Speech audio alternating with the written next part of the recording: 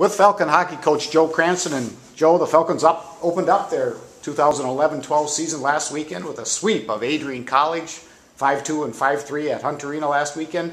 Could you talk a little bit about those games? Uh, well, it's really, I think it's just huge to get a sweep of Adrian early on, and that we didn't have any non-conference games before that, having to play them.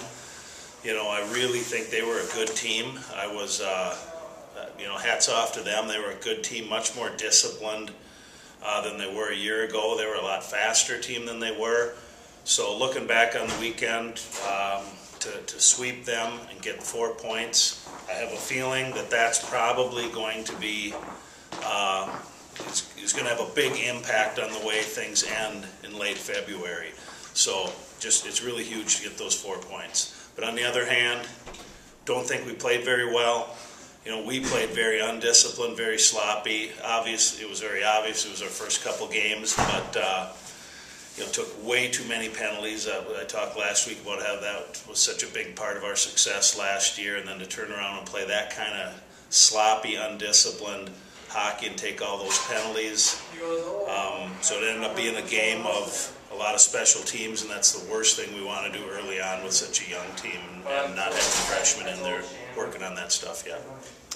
Joe, uh, Brooke Story, the sophomore forward out of Warroad, was named the team's player of the week. Um, had two great games. Uh, picked up four assists in the two games. Could you talk about Brooke's play a little? She was probably the hardest worker on our team. You know, it always comes down to that, or usually does. But you know, Brooke's story is just so is she's just getting better all the time. And the, the thing about Brooke last year I think about mid-season, she had eight goals and no assists, and uh, so it was something when she find when she finally had that assist last year. It was pretty fun.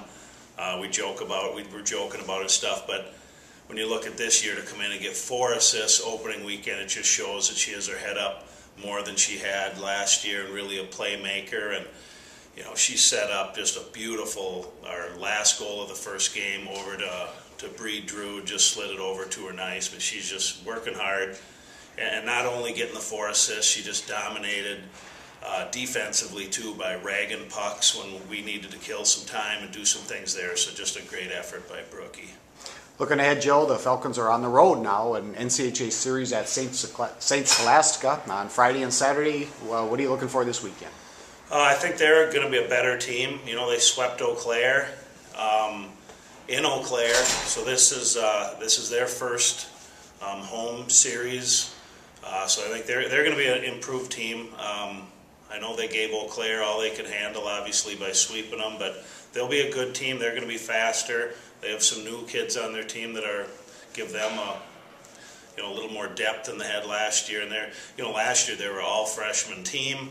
Uh, obviously, a lot of growing pains and, and, a lot of things that come along with having such a young team. So I think the fact that they're going to be a year older, um, they're, they're just going to be that much better. And last year, you know, we played them both times were very close games, one goal games. So we're going to have to be playing a lot better than we did last weekend if we're going to expect to go up there and and uh, get four points.